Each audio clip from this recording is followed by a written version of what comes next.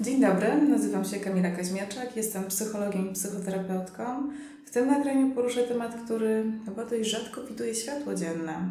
Nieczęsto się o tym mówi, a szkoda. W tym nagraniu wezmę pod lupę mój i kolegów i koleżanek z branży narcyzm, szczególnie właśnie gdy pełnimy rolę psychoterapeutów. Można by sobie zadać pytanie, czy to w ogóle idzie w parze.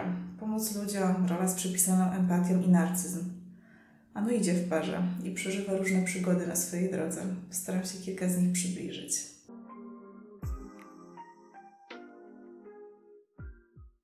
Jedną z takich pierwszych rzeczy to jest wiem lepiej. I tu od razu zróżnicuję, że jest wiem lepiej i wiem lepiej.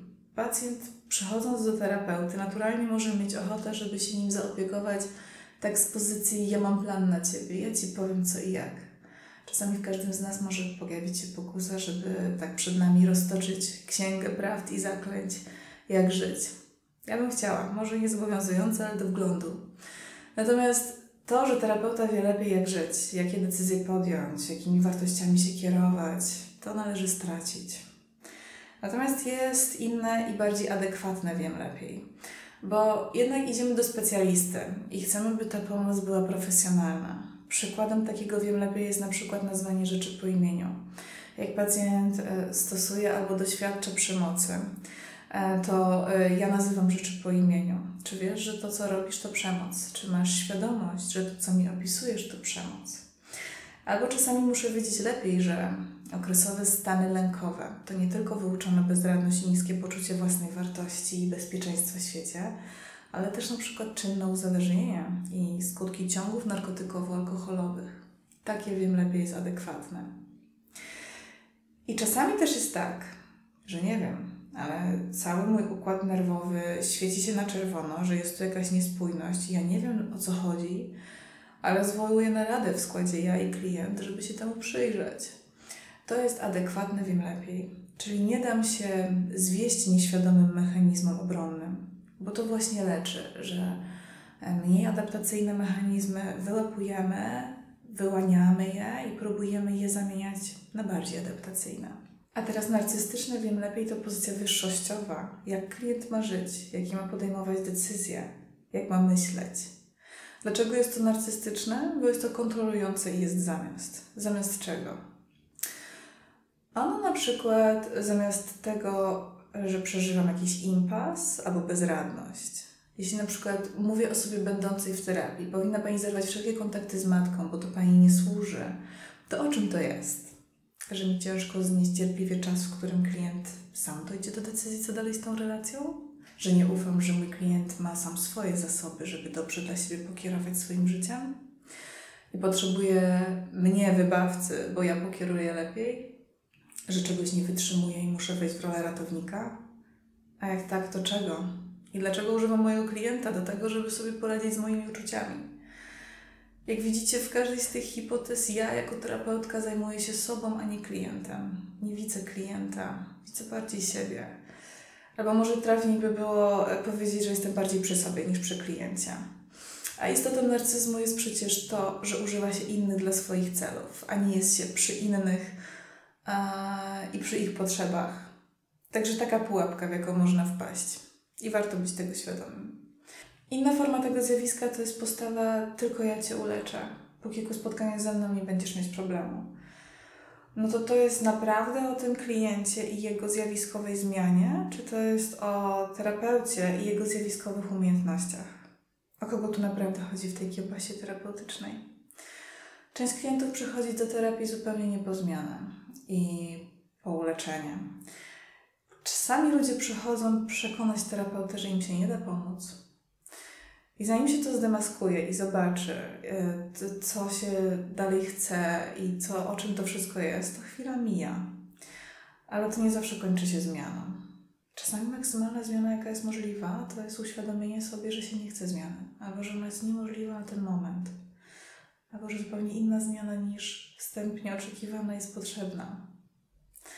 Ja to odbieram tak, że jak ktoś twierdzi, że gwarantuje zmianę, to jest zamknięty na zobaczenie, z czym i po co przychodzi drugi człowiek. A więc znowu, narcystyczna jest postawa ja i moja skuteczność uleczeń, a nie ty i z czym i po co przychodzisz. I następna narcystyczna postawa to jest e, sojusz przeciwko innym terapeutom, nurtom terapii albo dyskredytowanie ich w jakiejś formie, czasem wysublimowane. Jeśli uważam siebie za lepszego terapeutę od byłego albo innego terapeuty mojego klienta, to czas się zastanowić, o czym jest ta myśl. Czy ja właśnie organizuję jakieś rozgrywki, rozgrywki rywalizacyjne o to, kto klientowi bardziej pomoże? I znowu, nie jestem przy swoim kliencie, tylko przy mojej ambicji. Albo może brakuje mi pewności siebie mm, i dodaję sobie poprzez umniejszanie innych. To też jest mechanizm obecny w spektrum narcyzmu. Wyższościowa fasada. Ja lepsza, bo w kontraście do umniejszonego drugiego. Kiedyś doświadczyłam tego na własnej skórze. Moja przyjaciółka skorzystała ze hipnozy i ponieważ naprawdę niewiele wiedziałam o tym, to zachęcona jej entuzjazmem postanowiłam się umówić na pierwszą konsultację. I chciałam naprawdę się zaangażować w to doświadczenie, więc postanowiłam się całkowicie upacjencić i nie zrobiłam żadnego researchu. Na tamten moment wydało mi się to przytomnym podejściem. Więc pierwsza konsultacja. Pani pyta o doświadczenie w pracy nad sobą i ja mówię, że tak, wiele lat terapii. Po czym pani mi przerywa i mówi, no i co ci ta terapia dała? Chyba jakoś nie rozwiązała twoich problemów i postanowiłaś poszukać sensowniejszych sposobów. No i to było tyle z mojego upacjentowienia się i oddania kontroli. I to było mikroskopijne, narcystyczne zachowanie ale dla mnie już wystarczyłoby nie podjęcie współpracy, bo jeśli ktoś umniejsza innych, by budować siebie, to znaczy, że brakuje mu pewności siebie. A jak brakuje mu pewności siebie i sięga po takie metody, to ja nie chcę, żeby ktoś taki grzebał mi w mózgu. Ale wielu ludzi, którzy tej świadomości nie mają, mm, daje się uwieść tej narcystycznej popisłowie, bo to gdzieś tam nosi znamiona obietnicy siły, a przynajmniej odwagi odwagi na przykład do głoszenia ostrych sądów albo deklaracji. Bardzo często fikcyjna, narcystyczna siła jest odbierana jako dobry leadership albo obietnica opieki albo charyzma. I to potem gdzieś w terapii rozszyfrowujemy, co jest prawdziwą siłą, a co ją udaje. Dalej mamy mówienie o sobie, ale takie mówienie o sobie bez odniesienia do klienta i w intencji poszerzenia świadomości klienta. Są różne nurty psychoterapii. Psychoanaliza y, jest takim nurtem, gdzie możemy się spodziewać, że to pacjent mówi, a psychoanalityk raczej słucha i potem podaje jakąś interpretację. Raczej psychoanalityk z natury nie ujawnia siebie. To zdarzają się wyjątki. Z kolei w nurcie poznawczo-behawioralnym mamy większe nastawienie na cel. Tam jest może większa zadaniowość, co na pewno niektórym może bardzo odpowiadać, Zdarzają się zadania domowe i jest też um, większa aktywność terapeuty w temacie danego spotkania. Z kolei nurty humanistyczne, w tym mój, są bardziej nastawione na relacje, na proces. Um, często ważniejsze jest nie to, co się mówi, ale jak się coś mówi. I w tych nurtach ważna jest autentyczność i ciało. I tutaj terapeuta może się odsłaniać, ale z zastrzeżeniem, że jest to zasadne dla procesu klienta lub relacji. Ja obserwuję, że to bywa bardzo pomocne dla niektórych, kiedy w sposób przemyślany ujawniam coś ze swojego życia, co akurat jest związane e, z danym momentem w procesie. Ale chodzi o intencję, e, by było to na rzecz klienta, a nie na moją. Terapia jest dla klienta, nie dla mnie. W związku z czym należy być bardzo świadomym, jakim wkładem jest dana informacja, dla procesu klienta, dla danego momentu w terapii, jaka jest intencja tego, co mówię. Jeśli nie trzymam w ryzach tego, o czym mówię, no to może się to stać zajmowaniem się sobą, a nie klientem. Narcyzm terapeuty może wyglądać tutaj tak, że terapeuta e, będzie chciał mm, się pochwalić klientowi, a zobacz, ja jestem taka wspaniała, że wyleczyłam 300 osób z takimi objawami a kiedyś to nawet miałam taki a taki przypadek i tutaj rozwijam historię, która w ogóle nie jest o kliencie. A może też być tak, że e, chcę się pochwalić ciekawym życiem i zaczynam wplatać jakieś anegdoty z mojego życia, które nie są związane z tematem klienta. Oba te przykłady są o skoncentrowaniu się terapeuty na sobie, nie na kliencie. i raczej o jakimś poszukiwaniu aprobaty i uznania. No i jeśli ktoś z Państwa ma do czynienia z takim zachowaniem terapeuty i coś Wam to robi, to zachęcam do pytania wprost. No dobrze, a jak ta historia ma się do mnie? Bo być może nie łapie nawiązania. Ja głęboko ufam, że możemy dostać odpowiedzi połączone kropki, e, które po prostu nam w głowie się nie łączyły. Ale też możemy dostać na przykład otrzeźwioną reakcję terapeuty, że coś się wydarzyło, że gdzieś oddryfował, co może być ciekawym punktem wyjścia w rozmowie. Co się między nami dzieje, e, że ja zaczynam zajmować się sobą, a nie tobą w naszej rozmowie. Jeszcze inna strategia realizowania narcyzmu terapeuty to przywiązanie do jakiegoś konkretnego pomysłu na klienta i obrażanie się. Klient nie chce tego zrealizować e, lub jest w oporze. Mm, to jest takie, jak nie chcesz robić po mojemu, to nic ci nie pomoże. To jest postawa niedopuszczalna i nieetyczna, e, jednak jak w każdej branży i w tej profesji zdarzają się nadużycia. Bardzo Państwa zachęcam do tego, by słuchać swojego ciała. Jeśli cokolwiek sprawia, że czujecie się niedobrze, to ufajcie swoim uczuciom. Czyli posiadanie planu na życie i wybory klienta. Dlaczego to jest narcystyczne? E, bo to jest kontrola i niewidzenie klienta z jego potrzebami i chceniami albo nawet jeśli ich na ten moment nie ma, to z jego prawem do wolności w procesie. Za to terapeuta stawia siebie w roli omnipotentnego, tego, który wie lepiej. Kolejną rzeczą są przychwałki.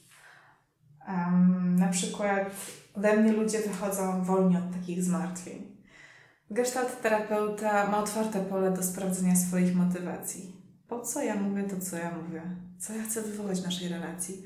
Chcę sobie coś dodać do sprawczości, chcę się e, wydawać bardziej potrzebna niż jestem klientowi. A jak tak, to o czym to jest? Może o jakiejś identyfikacji projekcyjnej. Może mój klient ma taki właśnie zależny kawałek w sobie, potrzebujący silnie obiektu, a ja tworząc iluzję półboga ją wzmacniam. I tak się zastanawiamy, co się wydarza. Należy być tego świadomym. I ostatnia rzecz, o jakiej powiem, to nieumiejętność lub szczególna trudność przyznania się do błędu, przeproszenia, sprostowania. Dlaczego to jest narcystyczne? Bo nie biorę odpowiedzialności. Zamiast tego chcę utrzymać fasadę nieomylności, siły, idealności.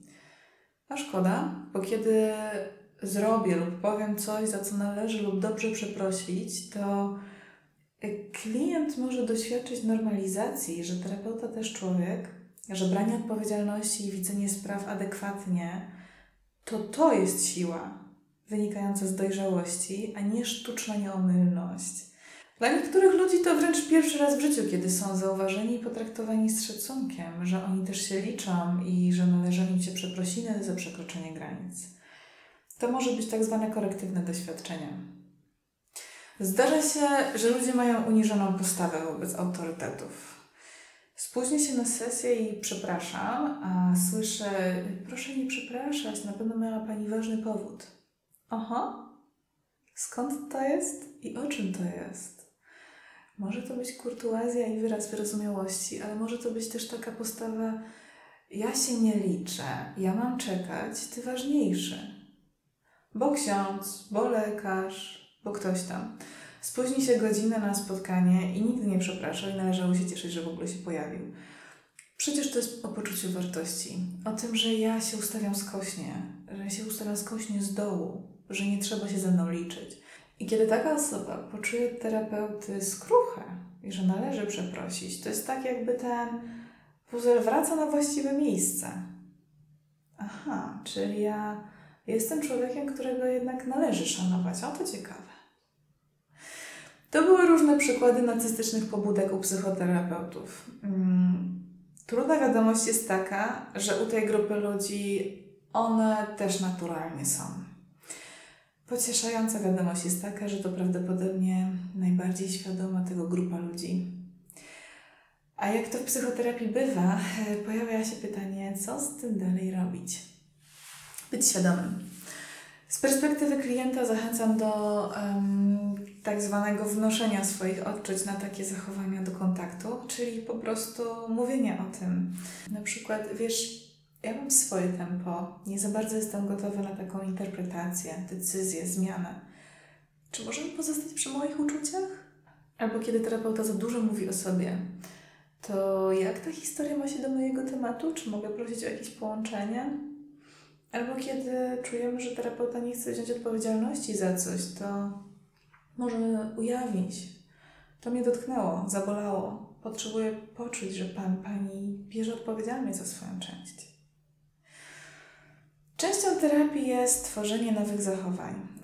Gabinet terapeutyczny to takie bezpieczne laboratorium doświadczalne i ufam, że w znacznej większości bezpieczne, gdzie uczymy się nowych strategii, nowych zachowań i mamy kogoś, z kim możemy omawiać, jak to nowe zadziałało. Moją intencją do nagrania tego materiału jest budowanie świadomości zachowań czy pobudek, które i tak są, a uświadomione są po prostu mniej groźne. To wszystko na dzisiaj. Jeśli to było pomocne, to proszę łapkę w górę i znaka w komentarzach oraz zachęcam do subskrypcji. Do zobaczenia.